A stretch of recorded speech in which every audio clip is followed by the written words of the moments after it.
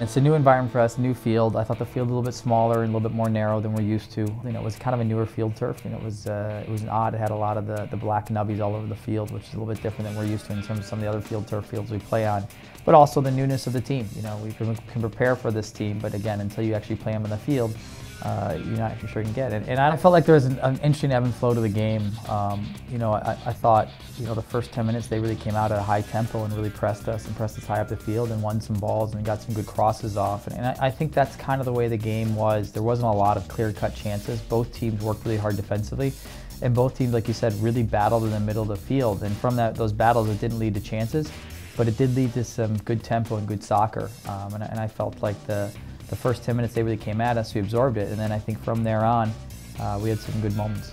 I thought we were really handling them defensively, and, and, it didn't lead to a lot of chances offensively, but we were like a moments away or, or, or, just a play away from really creating a good chance. And I think if we had one or two players just a little bit sharper, I think we would have scored first in that game. And um, the ball got wide, and, you know, credit to them. I thought it was a really good cross, and you had two players in their team really attacking the space where the ball went to really well. You know, they broke us down wide where we had to recover, and, and that recovery put stress on Connor and Pitch, mostly in terms of them getting back into space to deal with the cross, and they weren't quite prepared once the cross was served to really now to go out and attack the ball, and they got caught a little bit because they were recovering.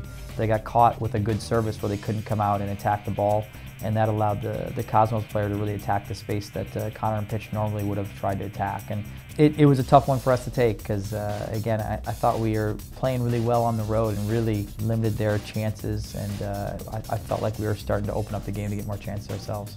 A lot of times, you know, you have an ego of, of just starting and that's it, but, but globally, uh, there's a lot of pride. Uh, you know, in France they call it the joker. You know, a joker who comes into the game and, and changes the difference. And I think at this level particularly, you know, the guys who put their ego aside and come in and decide that they want to give something to the team that they need, whatever it is. So it's to see a game out defensively, to see a game offensively, is it to change the tempo of a game. Uh, it's a special quality, unique quality, and uh, you know, it's one of those rare things in soccer where you find the right guys who can do that.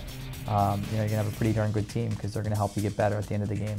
From a coach's aspect, you know, you, you try to get a feel for, you only have three subs, and you try to get a feel for what the team needs and when they need it. And certainly when they scored, uh, the mindset changed and, and, we really had to push the game now. And, and that's, uh, it was nice to see three guys in and, and, almost get contribute in a big way. Would have liked them to contribute more, but they, they, did a good job and they really put us in a chance to, to get back in the game. Omar made a nice uh, deep run into the box and, and, really put them on their heels, and so now they were stressed in terms of uh, getting in position in the box. And you know, Simone took a nice touch, and, and really what happens, I think Simone sees uh, you know the space that's open in the box and where Pitch could run to.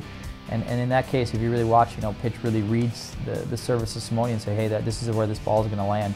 Unfortunately, you know, as good as the header was, you know, he's got to get that on goal. And again, I think he gave him a lot of credit for getting to the space, but I, I think he would love to have him on back because, you know, usually uh, that's something that he'd put on goal. At times you can go through droughts and you can be mentally uh, challenged in terms of confidence offensively. We're going through that stage, particularly at home, actually, even more so on the road in terms of really uh, when the game opens up, are we clinical with our finishing? Are we mentally strong to see the game out by you know scoring a second goal or a third goal to make sure uh, we get the result that day?